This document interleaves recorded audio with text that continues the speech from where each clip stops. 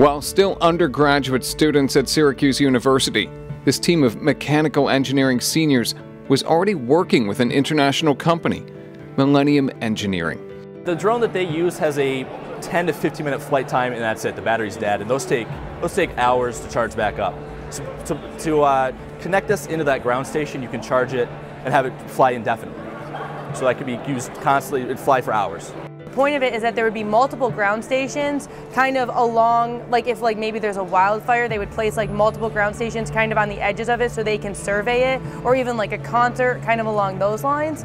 The project involved multiple elements, building a reel, a parachute, a motor incorporated with a control system, and each component had to work with the others.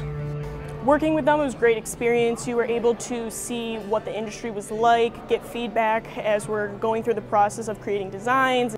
And we like designed something from basically the ground up with just a budget and an idea of what we needed to do. So we, we got our control system working, which means as the drone flies up, the, the, the, the reel will unwind and give the, the drone slack so it can fly higher. It'll wind back up if you give it not enough.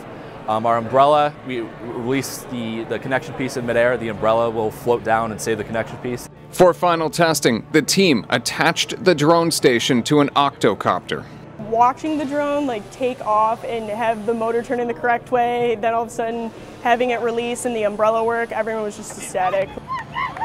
Because you spend the, the, four years here, this is where it comes from. You, you get all that, all that background knowledge, all that math finally comes in where you get this, this station that came together and worked. So it's amazing to be able to bring these companies in, and they, they work so willingly with, the, with, I mean, students like me. To see that we could do it and accomplish that is something that, like, yeah, for engineering in the future, like, I'm very confident on like any team project that I have.